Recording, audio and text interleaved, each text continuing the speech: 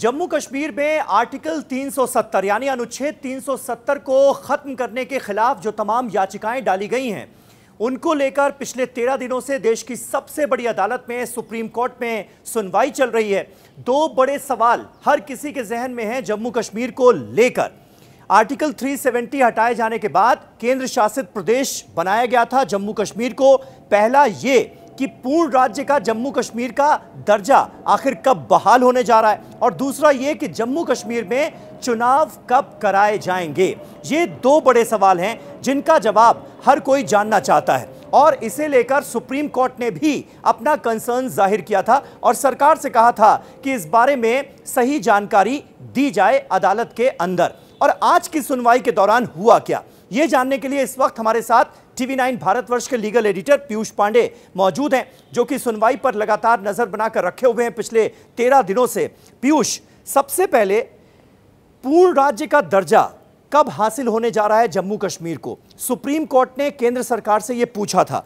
आज जब केंद्र सरकार की तरफ़ से अपना पक्ष रखा गया सॉलिसिटर जनरल ने कहा क्या है इसे लेकर देखिए सॉलिसिटर जनरल तुषार मेहता का सीधे तौर पर यह कहना है कि जब राज्य में स्थितियाँ यानी कि अभी जो केंद्र शासित प्रदेश है हम्म। वहाँ पर स्थितियाँ सामान्य हो जाएँगी तब इसे पूर्ण राज्य का दर्जा भी मिल जाएगा। हम्म। क्योंकि ये परमानेंट व्यवस्था नहीं है जो केंद्र शासित प्रदेश की व्यवस्था है वो परमानेंट व्यवस्था नहीं है हाँ। इस बारे में। हम्म। सीधे तौर पर सीजीआई की बेंच को तुषार मेहता ने बताया और तुषार मेहता ने कहा कि लेकिन फ़िलहाल ये व्यवस्था लागू रहेगी और पूर्ण राज्य का दर्जा कब मिलेगा? इसका कोई तिथि या तारीख दिया जाना अभी तय नहीं है। लेकिन ये उन्होंने साफ़ कर दिया कि जैसी स्थितियाँ मौजूदा समय हैं आगे स्थितियाँ बेहतर होंगी तो उसके आधार पर सरकार आकलन करेगी और उसके आधार पर आगे निर्णय लिया जाएगा।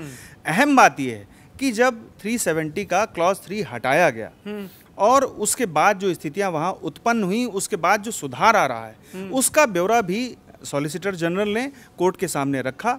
उन्होंने बताया कि किस तरह से आतंकवादी घटनाएँ पहले हुआ करती थी किस तरह से वहाँ पत्थरबाजी पहले हुआ करती थी। हम्म। शायद कुछ आंकड़ा भी रखा गया ना सामने कि 97 पॉइंट समथिंग परसेंट गिरावट आई है पत्थरबाजी की घटनाओं में। ऐसा कुछ हुआ क्या? बिल्कुल बिल्कुल उन्होंने कहा है कि 97.7 परसेंट गिरावट आई है हम्म। पत्थरबाजी में। और उसके अलावा जो आतंकवादी घटनाएँ थी पूरी तरह से शून्य हो गई हैं फ़िलहाल। हम्म, और जो अन्य अपराध थे उनको लेकर के भी सुप्रीम कोर्ट के समक्ष उन्होंने जानकारी दी तो उन्होंने ये बताने का प्रयास किया कोर्ट को कि स्थितियाँ धीरे धीरे सामान्य हो रही हैं अच्छा। और जैसे ही स्थितियाँ पूरी तरह से सामान्य हो जाएँगी हम्म। उसे पूर्ण राज्य का दर्जा दे दिया जाएगा और केंद्र शासित प्रदेश की जो व्यवस्था है हम्म। वो परमानेंट व्यवस्था नहीं है हम्म। इसके पीछे की वजह क्या है पीछे की वजह यह है कि कोर्ट ये जानना चाहती थी कि जम्मू कश्मीर का विलय जब भारत में हुआ हम्म। और उसके बाद जब 370 हटाया गया तो लोकतंत्र की जो स्थिति थी हम्म। उसको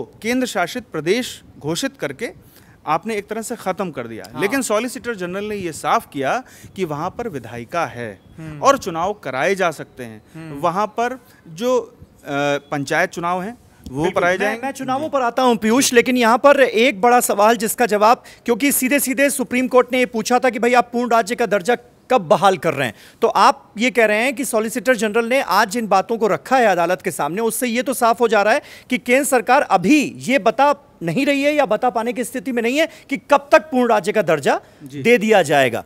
लेकिन अब दूसरी बात आती है चुनाव को लेकर कि जम्मू कश्मीर में चुनाव कब कराए जा सकते हैं। आज सॉलिसिटर जनरल ने यह कहा है कि हम चुनाव के लिए तैयार हैं। वोटर लिस्ट का काम भी मुझे लगता है आखिरी दौर में पहुँच चुका है ऐसी कुछ बातें कही गई हैं। तो कुल मिलाकर चुनाव को लेकर जम्मू कश्मीर में चुनाव कब कराए जा सकते हैं इसे लेकर केंद्र सरकार कितनी तैयार नज़र आ रही है और कब ये मुमकिन है कितना देर अभी और इंतज़ार करना पड़ेगा? देखिए सॉलिसिटर जनरल ने कोर्ट को ये बताया कि वोटर लिस्ट जो है वो पूरी तरह से तैयार है। अच्छा। और इसके अलावा जो परिषद के चुनाव हैं लेह में कारगिल में वहाँ पर वो चुनाव भी आयोजित कराए गए हैं।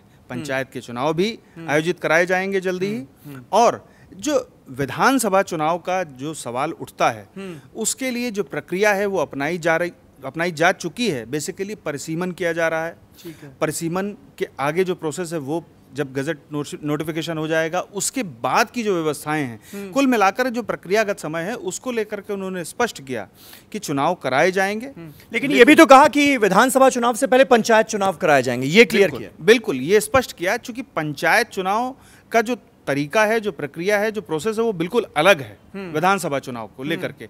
और जब तक परिसीमन की प्रक्रिया कंप्लीट नहीं हो जाती और उसका गजट नोटिफिकेशन नहीं हो जाता और उसके आगे की जो प्रक्रिया पूरी नहीं हो जाती तब तक विधानसभा चुनाव नहीं कराए जा सकते हैं।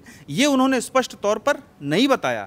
लेकिन उन्होंने ये ज़रूर कर दिया कि ये प्रक्रियागत निर्णय है और नीतिगत निर्णय है जो सरकार की ओर से लिया जाएगा। अच्छा। लेकिन उन्होंने ये ज़रूर स्पष्ट कर दिया कि केंद्र शासित प्रदेश होते हुए भी जो कश्मीर है वहाँ पर जम्मू कश्मीर में हम्म। विधायिका है हम्म, और ऐसी स्थिति में हम्म। अगर पूर्ण राज्य का दर्जा उसको अभी नहीं मिल पाता है तब भी वहाँ पर चुनाव कराए जाएँगे। चुनाव तो कुल मिलाकर के सरकार का जो पक्ष रखा तुषार मेहता जी ने वो वहाँ पर वो स्पष्ट किया कि चुनाव भी कराए जाएँगे और पूर्ण राज्य का दर्जा भी बहाल होगा।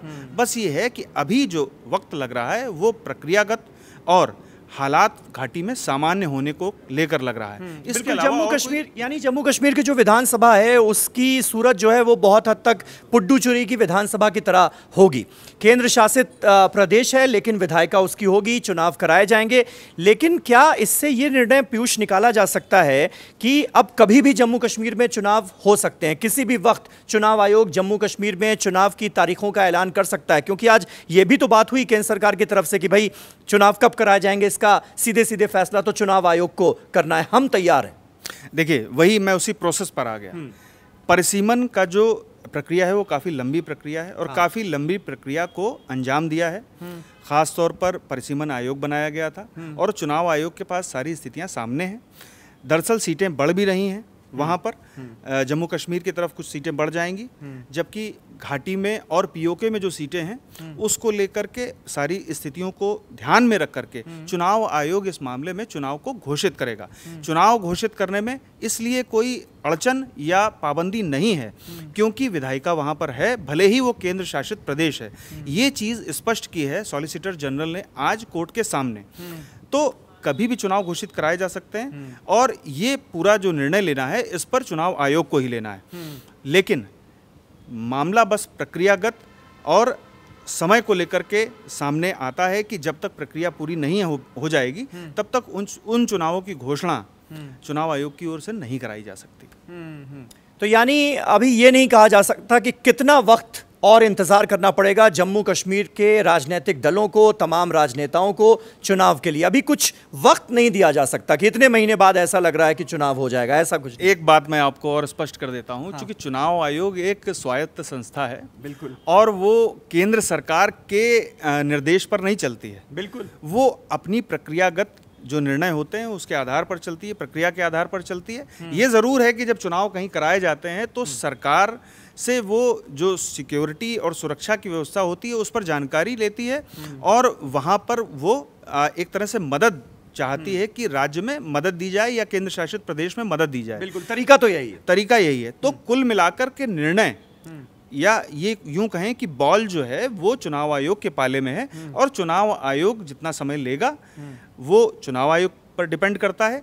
केंद्र सरकार चूँकि ये बता सकती थी कि चुनाव आयोग को ही निर्णय लेना है तो केंद्र सरकार ने अपना पक्ष वहाँ पर सुप्रीम कोर्ट में रख दिया है हम्म। और सुप्रीम कोर्ट को भी एक तरह से ये आश्वासन दे दिया है ये स्पष्ट कर दिया है कि वहाँ पर चुनाव होंगे हम्म। ऐसी जो बातें सामने आ रही हैं कि चुनाव नहीं कराए जा रहे हैं हम्म। ऐसा बिल्कुल नहीं है जो परिसीमन आयोग था वो भी बनाया गया और प्रक्रिया को अंजाम दिया गया। बिल्कुल बिल्कुल। प्रक्रियाओं को अंजाम दिया जा रहा है तो कई बड़ी बातें सुप्रीम कोर्ट में जो हियरिंग चल रही है आर्टिकल 370 को लेकर उस दौरान सामने आई हैं। जम्मू कश्मीर में चुनाव कराए जाएँगे। हालाँकि अभी इसकी कोई समय सीमा नहीं बताई जा सकती है।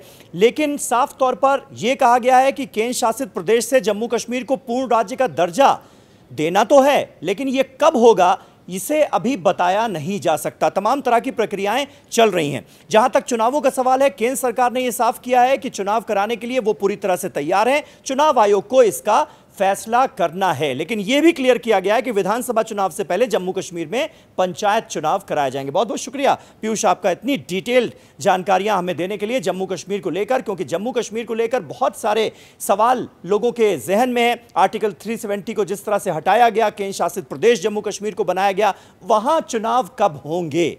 इसे लेकर आगे भी हम आपको सारी जानकारियाँ देते रहेंगे। फ़िलहाल इस खास पेशकश में मेरे साथ इतना ही। नमस्कार।